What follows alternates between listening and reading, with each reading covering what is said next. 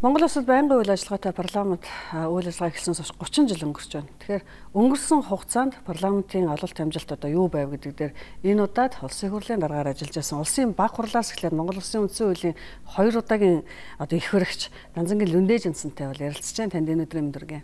Нийт үзэгчдтэй за минь дэвшүүлээ. Тэгэхээр өнөө 30 жил гэдэг бол хүний насаар ярих юм бол хамгийн идэр залуу нас эхэлж байна гэж ингэж үзэж болно. За төрч ёсны түүхээр авч үзэх юм бол парламентод ёс дэлгэрээд 3 400 жил болох гэж байна. Тэгэхээр энэ хугацаантай ингээд харьцуулаад үзэхэд бол яг байнгын ажиллагаатай сонгодог хэлбэрийн парламент бол 30 жил гэдэг бол ахар богино хугацаа. Гэхдээ хүний амьдралын нэг тал үе юм гэж ингэж баг хэлж болно. Энэ 1990-с 2020 оны хоорондох энэ 30 жилд бол дэлхийн улс орнууд дэлхийн ертөнц үнцээрээ өөрчлөгдлөө. Тэгэхээр нэг тогтолцооноос нөгөө тогтолцоон шилжлээ. Ялангуяа энэ 20 дугаар 100, 21 дугаар 100 дамжиж амьдэрсэн хүмүүс бол их хацтай хүмүүс л дээ. 200 дамжиж амьдэрсэн бас одоо хоёр нийгмийн тогтолцоог үзэж өнгөрүүллээ. Энэ хугацаанд бид бүхэн бол одоо хуучнаараа явах ямар ч боломжгүй байсан эдийн засгийн хувьд за улс төрийн тогтолцооны хувьд бол үнцээр өөрчлөгдсөн. Олон намын тогтолцооны парламент анхудаа бий болж байгаа. Чөлөө дардсан сонгуулийн үр дүнд байгуулагдсан олон намын тогтолцооны парламент бол анхудаа бий болж парламент ёс жинхэнэ утгаараа төлөвшөж эхэлсэн.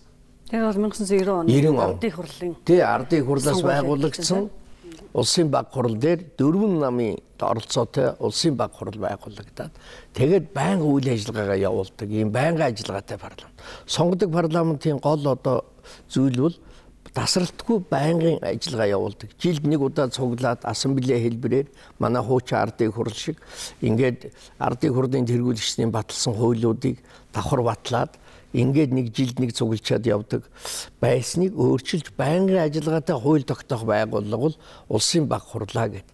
Ингээд 53 гишүүний бүрэлдэхүүнтэй улсын баг хурал байгуулагдаад ажиллаж байгаа. Энэ улсын баг хурлын гол ажил бол үнд шин үндсэн хуулийг нэн даруй боловсруулж хэлэлцэж ардын хурлдаа оруулж батлуулах явдал байсан.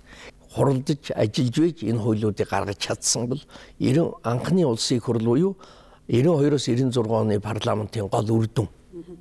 А энийг тийм үед биш үү зүйл заалт тулнаар хилцдэг байсан байхгүй хуулиудыг. За тэгээд зарим асуудлууд нь одоо дутуу орхигдсон 98 он хүрч иж ер нь үндсэндээ болов штэ. 96-аас 2000 оны хооронд хэрэгцсэн байхгүй. Тэгээ энэ хугацаа 30 жилийн хугацаанд эргэцэн шинтгэлийн хөтөлбөрийг 98 онд баталсан. Дахиад одоо бусад өөрчлөлтүүдээ хийсэн. Одоо 3 дахь давлгаа буюу одоо 3 дахь үе шат нь эхэлж байна. Энэ бол эрх зүйн шинтгэлийн хөтөлбөр 2 гэж нэрлэгдэх ба а үндсэндээ 3 дахь үе шат руугаа орж байгаа юм. Тэгээд 10 10 жилдээ өөрчлөгдөд байх асуудал биш байгаа юм л да. Янхнаасаа биш нөгөө нэг нийгэм масар хурцтай хувирч өөрчлөгдөж байгаа учраас л ийм өөрчлөлтүүдийг хийхээс аргагүй. Хууль бол ер нь болж игэл доктортой байх хэрэгтэй. За энэ хугацаанд бол одоо мэдээч хэрэг урагшаа маш их агсан бас зарим үед ухарч исэн талч бий. 99 2000 оны үндсэн хуулийн өөрчлөлт бол зарим хүмүүсийг хухралт болсон дордуулсан долоо өөрчлөлт гэж ярьдаг. А зарим нэг гарцаагүй гацаа үүсгэснээс гаргаж исэн зүйлүүд бол байгаа. Тийм ч учраас энийг одоо зас залруулах гэж гурван парламент дамжиж яригдчих 2019 оны 11-р сард үндсэн хуулийн нэмэлт өөрчлөлт оруулж чадсан. Тэгэхээр бид бүхэн энэ 30 жилийн ололт амжилт алдаа дутагдал дээр сургамж хийж парламент ёсыг одоо жинхэнэ утгаар нь төлөвшүүлэхийн төлөө ажиллаж ирсэн 30 жил байлаа. Тэгэхээр парламент ёс гэж юунаас бүрддэг? Ард түмний төлөөлөх үүргээ маш сайн хэрэгжүүлэх ёстой. Энд сонгуулийн хууль онцгой оролттой байна.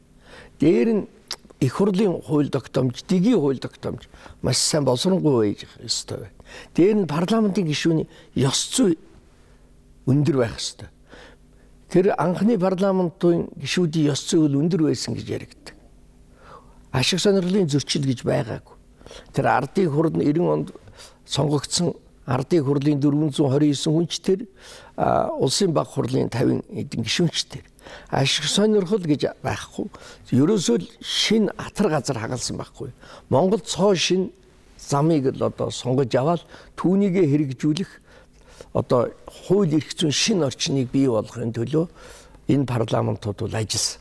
Ардчил гэж яриад байгаа бол парламент ёсоо л гэж ойлгоно. А парламент ёс одоо жинхэнэ утгаараа байх юм бол Монгол бол ардчилсан ор юм байна л гэж ойлгоно.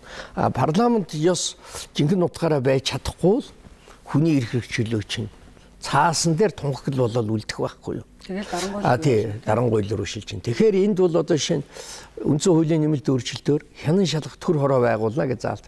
Энд бол цөөнхийн төлөөллийг оролцуулан улсын хурлын гишүүдийн дөрөвний нэг одоо албан ёсоор санал тавьбал тийм үү түүнийг шууд байгуулахаар энэ бол одоо бүх шатанд хяналтыг одоо хэрэгжүүлэх том механизм болж байгаа. Нийтийн сонсголын механизмыг их хурлд оруулж ирлээ их хурлын хууль. Энийг цаашаа ингээ хөгжүүлээд ерөнхий хяналтын сонсгол, томилгооны сонсгол гэдэг шүү дээ. Энэ бүх сонсголуудыг хэрэгжүүлээд явхад бол бас одоо парламент ёсыг хөгжүүлэхэд маш чухал ач холбогдолтой болно. Дээр нь парламентын боловсролыг одоо бид хөгжүүлэх ёстой бүх хүмүүс парламент гэж юу юм? Ямар утга учиртай юм? Төлөөлөх ардчил гэж ямар утга учиртай юм? Сонгуульд оролцохын үүрэг хариуцлага ямар байхыг манай одоо иргэд хүүхэд багчуудаас эхлээд цөмөрөө мэддэг байх хэрэгтэй. Хүүхэд багчууд чинь дараагийн сонгогчд шүү дээ. Бидний тий. Ийм учраас тэр чинь дарга цэрэг болох гэж тэрийг судлах юм биш. Ерөөсөл идэвхтэй хариуцлагатай иргэн байхын тулд энэ парламентын боловсрол мэдлэг зайлшгүй хэрэгтэй байна. Үүнийг бас хэрэгжүүлэх ажил хийгдэх ёстой. За парламентын гишүүдийн дунд сургалт явуулах гэж эхэллээ. Тэгээ энэ ч бас чухал. Парламентын гишүүн хүн ямар үүрэг хариуцлага хүлээх юм бэ? Яаж хууль тогтоох юм бэ гэдгийг нэг үрчлэн одоо сургалт хийх шаардлага байна. Цөмөрөө одоо нэг өдөр бэлэн мэрэгсэн парламентч болж чадахгүй шүү дээ. Тийм учраас энэ аль ч улсын парламентод бас сургалтууд явагддаг. Энийг бас хэлж байна. Ингээд үзэхээр бол Монгол Монголд бол парламент ёс бол одоо цаашаа төгөлдөрж гинөө. Энэ Монголын парламент бол одоо алдаа оноо бас гардаг штэ парламентод. Тэгтээ засах бололцоотой систем байгаа байхгүй юу тогтолцоо байхгүй. Одоо өмнөхөө бид нүс засаад ирлээ штэ. Цаашдаа алдсан ч тэр дор дорн засаад явна үүгээрээ ямар ч сайн одоо дарангуйлаас давуу талтай. Энэ бол ардчлалын баталгаа. А парламентын засаглал парламент ёс одоо буюу улсын хурл парламент үүргээ маш сайн биелүүлж ажиллаж ийж энэ өөрөө Монгол улсын тусгаар тогтнолын бас баталгаа болдог.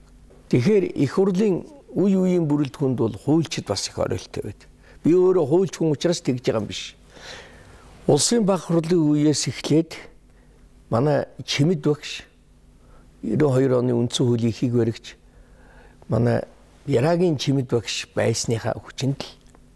Тэр баг хурл бол тэр хууль энэ үндсэн хуулийг ардын хурлд оруулаад улмаар батлуулж чадсан байхаа гэж боддог.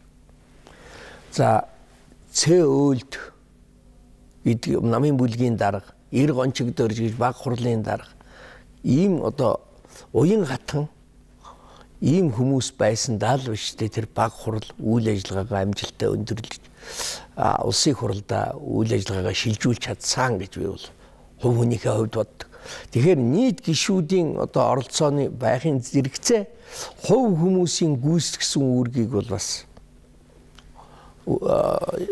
дутуу үнэлж болохгүй гэдгийг бас хэлмээр байна. Та хэллээ шүү дээ. Үүргээ өгсөн. Улсын байгуул бол 5 жилийн хугацаатай ардын хурлаар томилогдсон. Гэвтэл 92 оны үндсэн хуулиар дараагийн одоо парламентын эрхээ шилжүүлээд бүх эрх зүйн орчныг өгөөд за одоо бид нар бол хугацаагаа дуусгах шаардлагагүй гэдэг ингээ үгжсэн тийм ээ. Тэгэхээр энэ бол ард тухайн 90 онд анхны ардчсан сонгуулиар байгуулагдсан, чөлөө зарцсан сонгуулиар байгуулагдсан ардын хурл түүнээс байгуулагдсан баг хурл хоёр аль аль нь 5 жилийн хугацаатай мөртөө хугацаагаа бид үүргээ биелүүллээ шинэ их хурл байнгын ажиллагаатай шинэ их хурл үндсэн хуулиа хэрэгжүүлэх ажлаа удирдаад яваа гэд ингээд шилжүүлж ийн гэдэг чинь ашиг сонирхлын зөрчилгүй а нийгмийн эрх ашигыг одоо хувийнхаа эрх ашигын дээр тавьж чаддаг тийм өндөр эх оронч ёс зүйтэй хүмүүс байсан учраас л ийм шийдвэр гаргасан гэж боддог. Тэгэхээр та бол яхаарахгүй 30 жилийн байнгын ажиллагаатай парламентын амьд түүх та улсын боглоос эхлээд өнөөдөр хүртэл ингээд энэ парламентын гол одоо зүйн шмор гэсэн. Их хурлыг та бас э, тэргүүлж байсан. тухайн одоо он цагуудад бас хийж исэн эргэцэн ямар одоо гол тохируулгад өнөөдөр суур болж байна гэж харддаг бай. Би бас надад бол би түүхэн завшаа хувь хүнийхээ хувьд бол би азтай хүн юм гэж ингэж бодож байгаа. Бас өнөөдөр хэлчихье гэж. Ягаад гэхээр би түрүү хэллээ. Хоёр тогтолцоонд амьдарч үзлээ. Хоёр одоо 100 дамжиж амьдралаа.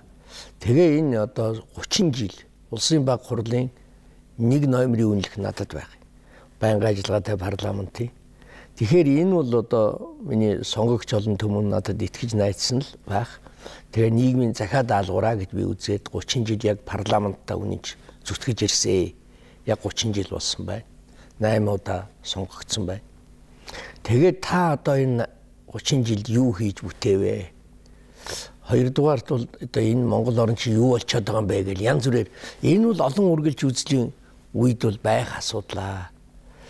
Би өөрөө энэ хаалттай нийгэмч гэж өмнө ярьдаг л байсан. А ер нь бол бид бүхэн олон үргэлж үзэлтэй үзэл үзэл бүхий нийгэмд бас оюун санааны чөлөөт нийгэмд амьдарч үзхийнсэн гэж боддог хүсдэг байлаа шүү дээ монголчууд.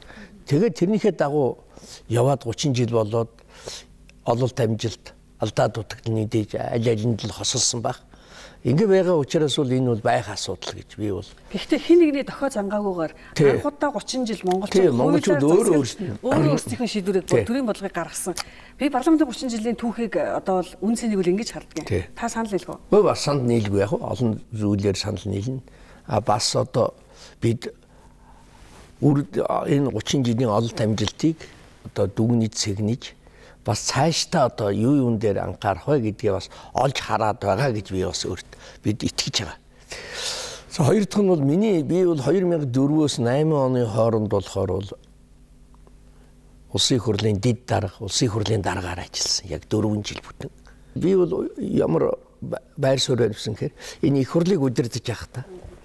Тэр парламент ёс ардчилсан зарчмыг л хатуу барья хүн болгоны үгийг ямар ч байсан төвчээр гаргаж сонсё гэж л ингэж л ийм байр суурьтай байсан. Энэ үед одоо наран цацралт, амар жаргал, буян жаргал сайхан, бэ жаргал сайхан, буянгийн жаргал сайхан гэдэг. Эрдэн Эрдэнэбат гэдэг, бэ Эрдэнэбат, гүн далай. За тэгээд хэмчлэнгээр их олон одоо ис санжаа сүрэнгийн оюун маш олон намын маш олон нэг хоёроор нэг нэг нэгээрээ тэгээ им инг сайхан гэд холон зүтгэлтнүүд олон намын хамгийн өргөн бүрэлдэхүүнтэй намын тогтолцоотой парламент бол 2000-аас 4 8 оны хооронд байсан. За мөн одоо байнгын хороодын дарга нар нь бол нам намуудаас байдаг. Засгийн газар дангаараа байж хад за яах юм бэ энэ юугаар нь явуулъя гэж бид нүс санал гаргаж ирсэн. Өөрөөр хэлбэл одоо бакэ дарга төрийн байгуулалтын хорон даргач гэдэг юм уу. Дэ ган хуйг бол эдийн засгийн байнгын хорон дарга мөнгө туяа гişүүн болохоор аюулгүй байдал гадаад бодлогын байнгын хорон дарга гих мэтлэнгээр. За манай намаас гэх чин дондог дарга марга гэдэг олон дарга нар байлаа л та дамирын дарга марга. Тэгээд би энэ үед бол одоо мэдээж хэрэг дид бүтс эдийн засгийн салбарынхан бол их хүчтэй. Ажлаа мэддэг салбарын мэдлэгтэй хүмүүс их байсан. Тухайлбал одоо дондог, ардна, арааш, цэнгэл, тэрвиш давг одоо хин банкны пүрв дорж энтергээд ингээд ийм итгэвтэй их олон гişүүд одоо байлалд. Тэгэл ингээд төсөв мөнгөний бодлогын тэр хилцэж яхад бол ажлаа их сайн мэддэг. За тэгээд одоо Цэ баяр сайхан, Нямживын Бат баяр гэдэг итгэвтэй гişүүд За байнга бүлгийн ахлагч нарын хувьд гэхэд бол одоо эхлээд итгэвтэн дарга. Дараа нь ямд орж цэн ямд орж мөн одоо лүмдийн ганс үх эр гончиг дорж гэд бүлгийн дарга нар нь. Ингээд маш сонин бүрэлдэхүүнтэй А тэгвэл бид бүхэн бол бидний өмнө юу гол зорилго бол эцсийн эцэд бол улс орны өмнө тавигдж байгаа энэ том том стратегийн болон бусад асуудлуудыг хэрхэн шийдэх вэ гэдгийг дээр л анхаарлаа хандуулъя гэдэг. Тэгээ нэг хідэн гацаатай байсан хідэн хуулиудыг бол ямар ч байсан их хурлын хууль, дэгийн хууль, сонгуулийн хууль за гэсэн хуулиудыг бол баталж чадсан. Иж бүрнээр засаж янзлаа. Дараа дараагийн шатанд болохоор бол тэрийгэ засаж янзлаад явах ерөнхий суурийг бол биднээс бол бүрдүүлж чадсан. За хөдөлмөрийн аюулгүй байдлын хууль гэдэг нэг том хууль гарсан. Би энийг мартдаггүй. Осол аваар энэ хөдөлмөрийн аюулгүй байдлын асуудал бол маш хэцүү асуудал та.